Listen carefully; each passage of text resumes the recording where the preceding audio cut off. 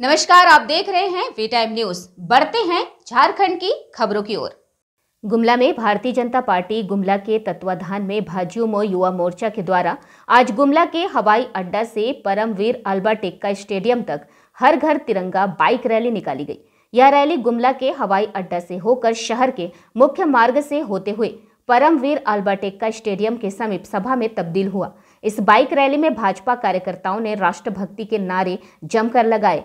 लोगों से अपील की कि हर घर में तिरंगा झंडा फहराना है चूँकि आज़ादी का 75 वर्ष होने के कारण पूरे देश में अमृत महोत्सव मनाया जा रहा है। इस बाइक रैली में गुमला ज़िले से सभी प्रखंडों के भाजपा कार्यकर्ताओं ने भाग लिया है। इस अवसर पर भाजपा नेताओं ने कहा कि आज़ादी बड़ी मुश्किल से मिली है, इसको बचा कर रखना हम सभी भारतीयों का कर्तव्य है। आज़ादी दिलाने में बहुत से राष्ट्रभक्तों की कुर्बानी देनी पड़ी है।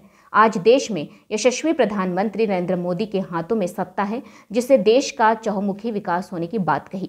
हम लोग को भारतीय जनता पार्टी के कार्यकर्ताओं को, जो राष्ट्रीय नेतृत्व और प्रदेश नेतृत्व ने जो होमवर्क दिया है, जो एक कार्य करने का, भारत माँ के लिए समर्पण करने का जो जो आप हम सबों को बीड़ा उठाने का थोड़ा सा उसमें सहयोग करने का कार्य दिया है, उसमें आपने जो आज आगाज़ किया। उसके लिए मैं आप सबों को तहे दिल से भारतीय जनता पार्टी गुमला जिला की ओर से अभिनंदन करना चाहूँगा और बधाई देना चाहूँगा कि आपने अपना कर्तव्य का सही ढंग से निर्वहन किया है। इसके लिए एक बार आप लोग सभी कर्तव्य ध्वनि से आप लोगों के लिए ताली बजाना चाहो। जैसा मौसम है और विपरीत परिस्थिति है, उसमें भी सभी मंडल से आप लोगों ने उपस्थित हुए। आज हम लोग जानते हैं के लिए एक गौरव का दिन है।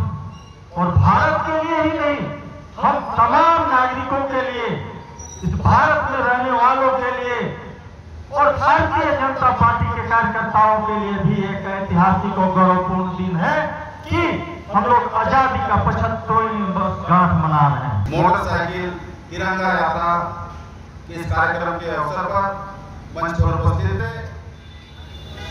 पिछले 15 अगस्त मतलब 2021 का 15 अगस्त से लेकर 2022 का इस 15 अगस्त के तक के जो बीच का कालखंड रहा, इस पूरे कालखंड में हम लोगों ने संपूर्ण भारत देश में आज़ादी का अमृत महोत्सव के रूप में हम लोगों ने मनाया।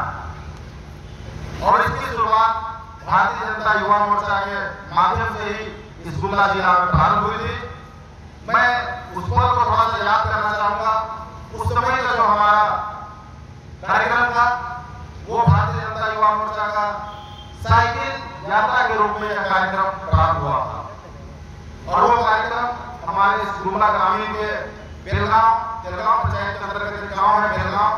उस गाँव से साइकिल यात्रा प्रारंभ होकर पूरे शहर में भ्रमण करते हुए इसी जगह पर समारोह के रूप में संपन्न हुआ था। हम सबों को याद है। दिन से लेकर आने वाले पंद्रह अगस्त तक यह आज़ादी का अमृत महोत्सव हम लोग पूरे गुना जिला में देश के साथ हम लोग मनाने वाले हैं।